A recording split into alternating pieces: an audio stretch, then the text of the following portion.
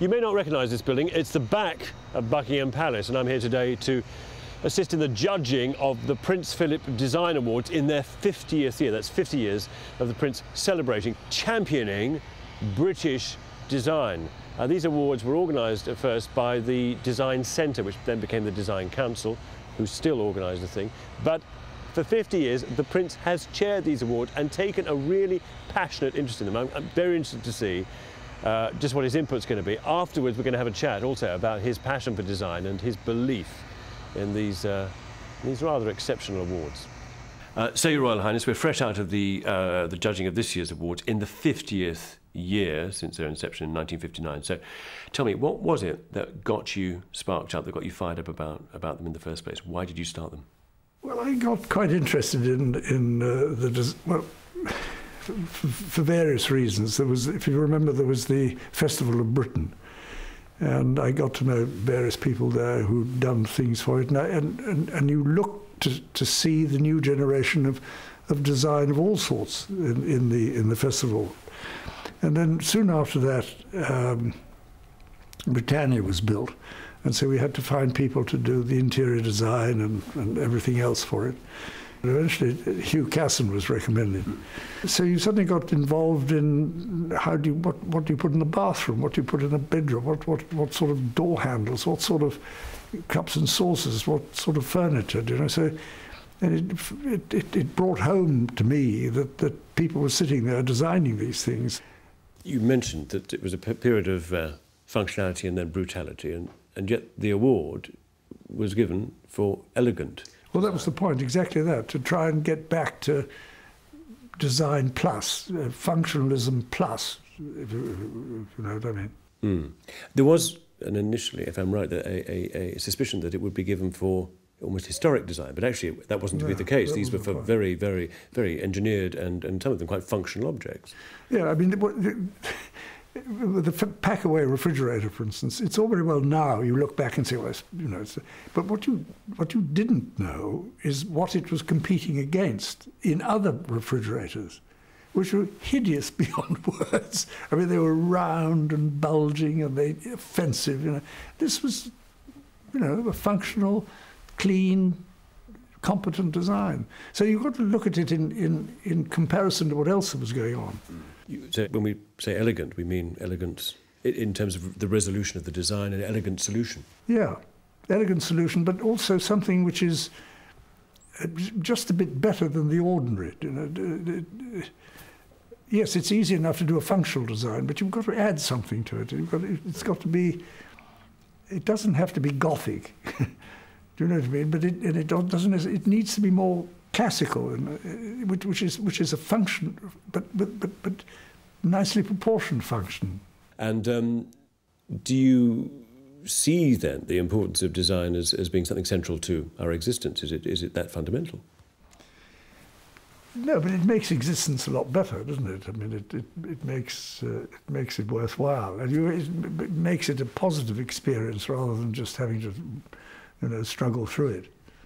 I mean, I think that street furniture, for instance. I mean, why why should um, attractive things only be in the home? Why, why why can't they be outside where you, where you see them, and where everybody can enjoy them? Mm. What's your uh, what's your feeling about and the design? And you probably you met many, I'm sure. Uh, are they a breed? Design. Designers? Do you find them a breed apart? Well, I think uh, designers and architects. Yes, I think all all original thinkers have got a a, a sort of quality which you could probably recognize. I mean, all architects wear ties with horizontal stripes, for instance. or no tie at all. Well, yeah, that's true. Over the last 50 years, have you seen any big changes in the design landscape? I think what, what obviously has changed is that it's, it's really corporate decision now, it's corporate taste as opposed to individual taste. I mean, if you go back, what, 18th century, for instance, to make it, or 19th century, the, all the, design advances were really created by individual taste.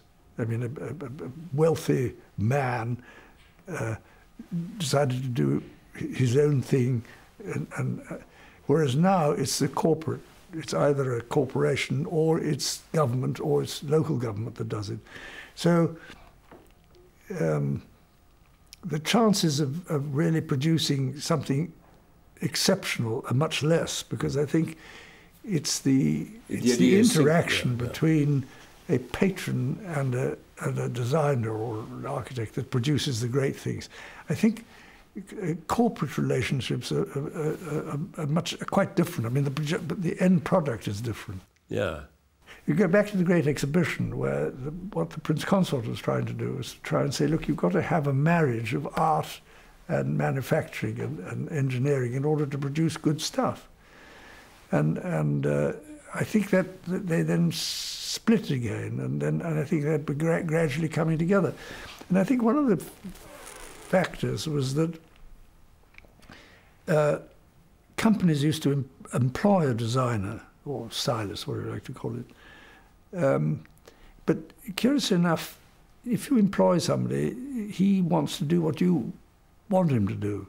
And I, I came to the conclusion that it was much better for companies who want to really do well with their design to have to contract with somebody to design for them.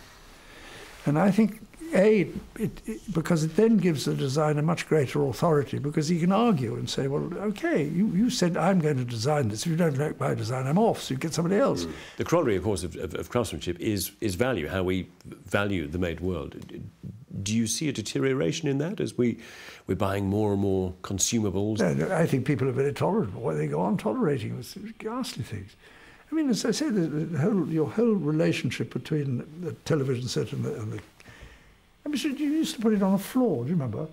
And then they put the controls on the bottom. So you had to lie on the floor. And then if you wanted to record something, the recorder was underneath. So you ended up lying on the floor with a torch in your teeth, magnifying glass, and the instruction book. Either or you had to employ a grandson of age 10 to do it for you. Yeah. When you think how. If you look at the um, fascia panel in a car, and just think uh, from a user's point of view. A, you can't see the, the, most of them because they they reflect, or there's a there's a dial with a bright aluminium circle so that it blinds you. You can't see what's inside the dial. You, you have a, a, a fuel gauge, for instance, which tells you how much fuel you've got left. Well, if you could stop and think for a minute, if you go, if you think you're running out, you go into a, a, a, garage, you want to know how much to put in, don't you? Yeah, well, that's what I call design. why should we celebrate these individuals and why continue doing so? Well, I would hope that, that uh, the fact that there is an award for designers, and they, they, if you're a young designer, you, you, you then associate the, the designer with what he's designed, might have the effect on thinking, well, this is something worth doing. You know, here's, here's a chap who is a designer, who's been recognized in public, is lionized, is, is, is a, a, a huge success. I want to be one of those.